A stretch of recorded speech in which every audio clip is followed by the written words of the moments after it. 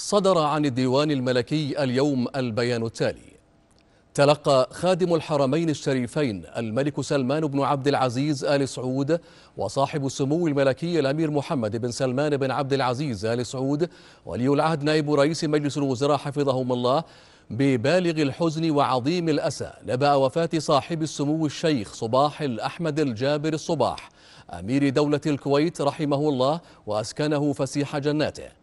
وقدم أيدهم الله خالص التعازي وصادق المواساة لعائلة آل الصباح الكريمة في دولة الكويت وللشعب الكويتي الشقيق وللأمتين العربية والإسلامية في وفاة صاحب السمو الشيخ صباح رحمه الله الذي رحل بعد مسيرة حافلة بالإنجاز والعطاء وخدمة جليلة لبلده وللأمتين العربية والإسلامية والإنسانية جمعاء.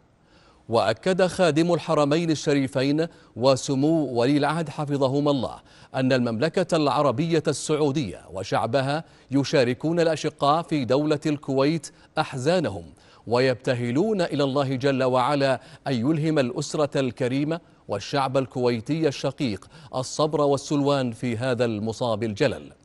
وأن يديم على دولة الكويت وشعبها الشقيق الأمن والاستقرار والرخاء والازدهار. إنا لله وإنا إليه راجعون.